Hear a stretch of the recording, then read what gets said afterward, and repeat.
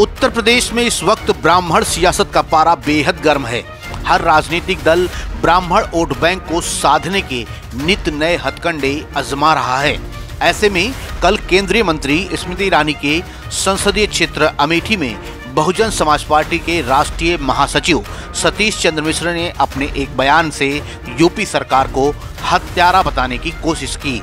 इसको लेकर आज अमेठी में एक दिवसीय दौरे पर आए ज़िले के प्रभारी मंत्री मोहसिन रजा ने सतीश चंद्र मिश्र के उस बयान का जवाब देते हुए कहा कि मुझे बहुत ही अफसोस के साथ कहना पड़ रहा है कि अगर कानून में न्याय दिलाने वाले लोग इस तरह का प्रश्न उठाएँगे, ये बहुत ही दुर्भाग्यपूर्ण है।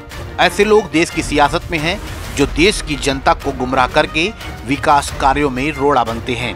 उन्होंने आगे कहा कि सतीश चंद्र मिश्रा जी को बहन जी के समय का नारा याद दिलाना चाहता हूँ कि जब उन्होंने कहा था तिलक, तराजू और तलवार, इनको मारो चार। ये नारा किसका था? अगर इस बात का जवाब सतीश चंद मिश्रा जी हमें दे देंगे तो मैं अपने ब्राह्मण भाइयों को बता दूँगा। मोहसिन रजा ने आगे कहा कि सबका साथ, सबका विकास, सबके विश्वास के मूल मंत्र पर आइए। हमने अपराधियों से उत्तर प्रदेश को अपराध मुक्त किया है और आप उसमें जातियाँ ढूंढ रहे हैं। जब मारा इन्होंने हमारा भी कानून कोई कोई आदेश नहीं, सरकारी आदेश नहीं है हाईकोर्ट का आदेश नहीं है न्यायालय में नहीं ले गए। लेकिन गाड़ी पलटती है, मार देते हैं। ठीक है, आप कहते हैं कि उसने उसने गलत काम किया था, लेकिन बाकी लोगों ने क्या किया? उनकी भी गाड़ी पलट गई। अठारह साल का एक लड़का, जो था भी नहीं वहाँ, हरियाणा में था। दूर का रिश्तेदार, कहा नहीं, उसको भी उठवा लो। उसकी भी गाड़ी पलटा दिया आपने, उसको मरवा दिया। कितने लोगों को गाड़ी पलटवा के मरवा दिया आपने? कहा कि गाड़ी पलटी, फिसल करके और उससे निकले और वो पुलिस वाले के ऊपर हमला कर रहे थे इसलिए गोली मार दी। अगर इस तरीके से आप करेंगे तो कितने किस्से आप सुनेंगे। अफसोस के साथ कहना पड़ रहा है कि अगर कानून में न्याय दिलाने वाले लोग इस तरह की बात प्रश्न उठाएँगे, चाहे सतीश चंद्र मिश्रा जी हों या असदुद्दीन ओवैसी हो, वो अपनी जाति और अपनी समाज के लोगों को ढूंढते हैं अपराधियों में और ये भी अपराधियों में अगर इस तरह की बात सतीश मिश्रा जी कर रहे हैं तो बड़ा दुर्भाग्यपूर्ण है कि ऐसे लोग देश की सियासत में हैं और इस तरह की बातें करके, देश के लोगों को गुमराह करके विकास कार्यों में रोड़ा बनते हैं, देश के निर्माण और विकास में रोड़ा बनने का काम करते हैं। यही बहन जी के टाइम का नारा उनको मैं याद दिलाना चाहता हूँ सतीश चंद्र मिश्रा जी को, कि तिलक, तराजू और तलवार, इनको मारो चार। तो अब ये नारा किसका था? अब सतीश मिश्रा जी, इसका जवाब अगर दे देंगे मुझे, वो मेरे बहुत वरिष्ठ हैं तो मैं चाहूँगा कि ये मैं अपने ब्राह्मण भाइयों को बता दूँगा।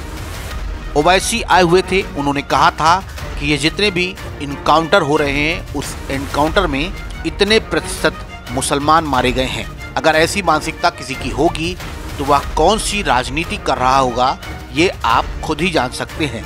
ऐसे लोग देश और प्रदेश का विकास कैसे करेंगे, ये सब ध्रुवीकरण करने वाले लोग हैं।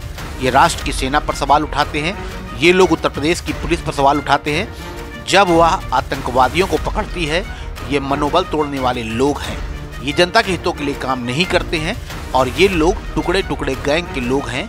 देश और प्रदेश की जनता इनको जान चुकी है। ओवैसी आए थे, आपको याद होगा सब लोगों को। असदुद्दीन ओवैसी ने कहा था कि ये जो इनकाउंटर हो रहे हैं, उन इनकाउंटर्स में इतने परसेंट मुसलमान मारे गए हैं। अब आप ये बताइए, ये मानसिकता अगर किसी की होगी, वो कौन सी राजनीति कर रहा होगा, कौन सा वो प्रदेश और देश का विकास करेगा? ये सब ध्रुवीकरण करने वाले लोग हैं। ये भारत तेरे टुकड़े होंगे, गैंग के लोग हैं। ये राष्ट्र की सेना पर सवाल उठाते हैं। ये उत्तर प्रदेश की पुलिस पर सवाल उठाते हैं, जब आतंकवादियों को पुलिस हमारी पकड़ती है।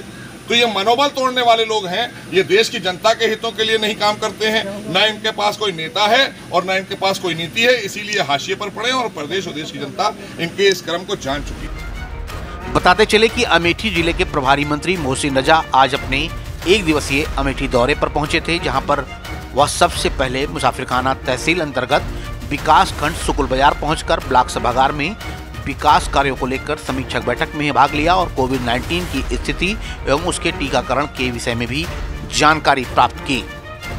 नाव 44 के लिए रत्नेश अग्रहरी की रिपोर्ट। सुल्तानपुर और अमेठी की सबसे पहले और सबसे तेज